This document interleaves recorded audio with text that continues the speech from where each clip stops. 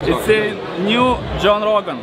Oh, that's my guy. Honestly, on the pod, he gave me a lot of love. I wish we had more of that recorded. I wish we had more of that, but you showed a lot of love, for real. I really appreciate that, genuinely. You'll remember me in one year. Oh, yeah, without a doubt. I'll never forget the shit you said. I appreciate that, for real. It meant a lot to me, for real.